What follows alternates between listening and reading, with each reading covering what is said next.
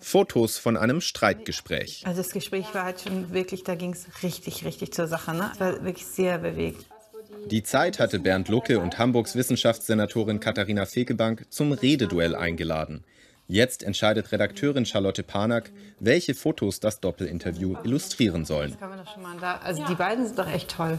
Ja, doch schöne Farben. Es erscheint in einem Ressort, das die Zeit vor zwei Monaten neu eingeführt hat. Und dieses neue Ressort heißt Streit. Innerhalb des Hauses haben wir uns viele Gedanken gemacht. Außerhalb des Hauses haben uns Leser darauf angesprochen, warum nennt ihr das Streit? Streit ist was Schlechtes. Man sagt doch schon zu seinen Kindern, Kinder, streitet euch nicht. Streit ruft bei mir negative Assoziationen, Aggressionen und so weiter hervor. Zwei Monate später hat sich die gesellschaftliche Debatte so gewandelt, dass alle sagen, Mist, warum haben wir nicht, nicht mehr gestritten? Warum wir brauchen Streit? Denn die Stimmung ist aufgeheizt. Zum Beispiel im Fall Lucke.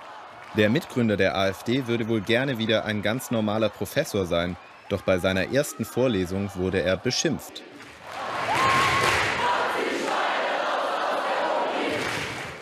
Lucke verteidigt sich. Er habe mit der heutigen AfD nichts mehr zu tun. Die Leute, die den Erfolg haben wollten, die sitzen jetzt im Bundestag. Ich habe gekämpft gegen die rechtsextremen Stimmungen und bin unterlegen. Viele finden, damit macht es sich Lucke zu leicht. Doch ist der Protest in der Form okay? Niederbrüllen, Beschimpfungen, äh, beim zweiten Mal ja sogar Stürmen des Hörsaals. An, äh, angeblich wurden ja sogar Sicherheitsleute verletzt. Das finde ich absolut nicht in Ordnung. Also das Nicht-Möglich-Machen ähm, der Vorlesung finde ich ein veritables Problem. Protestieren an sich, wie der Aster es ja zum Beispiel vor dem, äh, vor dem Gebäude gemacht hat, daran sehe ich überhaupt kein Problem. Ähm, aber das ist eben dann die Frage, wo endet legitimer Protest?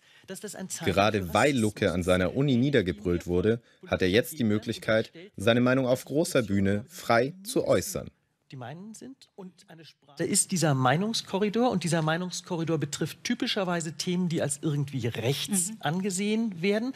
Und da ist immer die Sorge, dass wenn man sich da so äußert, dann wird rechts gleich rechtsextrem gesetzt und damit wird man in eine Ecke geschoben und dann wird ja. man sozial ausgegrenzt.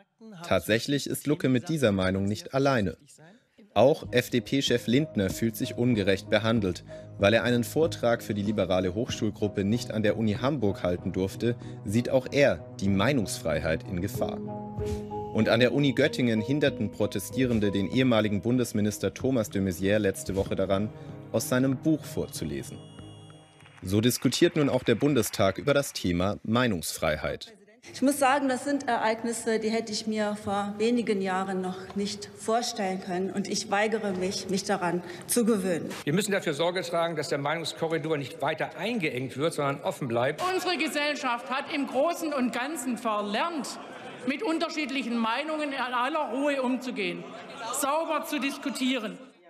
Die Meinungsfreiheit und ihre Grenzen. Die Zeit macht das diese Woche zu ihrem Titelthema.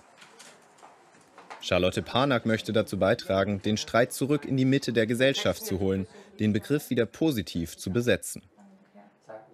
Ich glaube, ja, wir haben verlernt, uns zu streiten. Wir haben es einfach lange nicht praktiziert. Also ich glaube, eine gewisse Zeit war es sehr gemütlich in der Mitte und ähm, es ging uns gut oder es geht uns gut. Warum sollte man sich groß streiten? Viele Dinge wurden gar nicht thematisiert. Das heißt aber nicht, dass es diesen Streit nicht gab. Der wurde an den Rändern ausgetragen und das sieht man jetzt. Statt Diskussion oft Konfrontation. An vielen Universitäten beanspruchen eher linke Gruppen die Meinungshoheit für sich. Die sozialen Medien im Internet hingegen sind voll mit vor allem rechten Pöbeleien gegen Flüchtlinge oder gegen Menschen, die für Klimaschutz demonstrieren. Ein Meinungskampf, der sich mit voller Wucht entfaltet. Das beobachtet auch Jan Heidmann von der Süddeutschen Zeitung. Umso kritischer sieht er die radikalen Proteste gegen Lucke und andere das spielt eigentlich nur denjenigen die Hände, gegen die man da eigentlich vorgehen will. Nämlich gegen diejenigen, die möglicherweise die Rechtspopulisten wählen oder gegen die Rechtspopulisten überhaupt, weil die sich damit wieder sagen können, na schaut mal, die Meinungsfreiheit in Deutschland, äh, die existiert nicht mehr. Dabei gibt es durch die sozialen Medien mehr Möglichkeiten als je zuvor, seine Meinung zu äußern. Ich habe den Eindruck, dass ähm, viele Leute auch einfach uninformiert ähm, ihre Meinung loswerden. Und da ist natürlich so, dass das Medium dann auch sozusagen die Form oder den Inhalt bestimmt. Äh, das kann man auf Social Media natürlich wunderbar machen. Also man kann einfach seine Meinung loswerden. Ob man sich jetzt darüber informiert hat, ob die zutreffend ist, ob die stichhaltig ist, ähm, das wird immer weniger getan.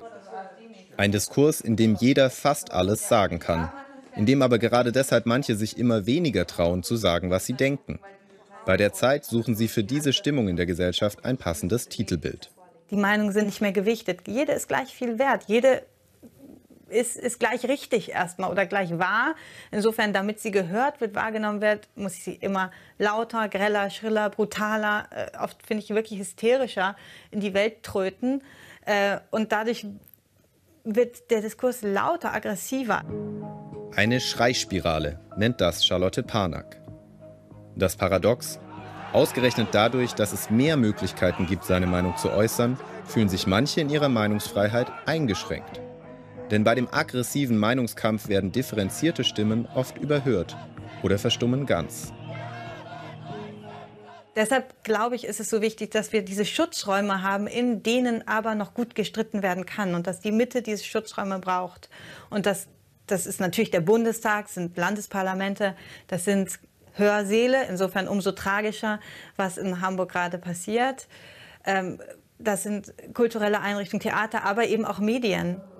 Räume, in denen keiner den anderen niederbrüllt, sondern in denen ein Streit mit Argumenten ausgetragen wird, solange beide Seiten gewillt sind, einander überhaupt noch zuzuhören.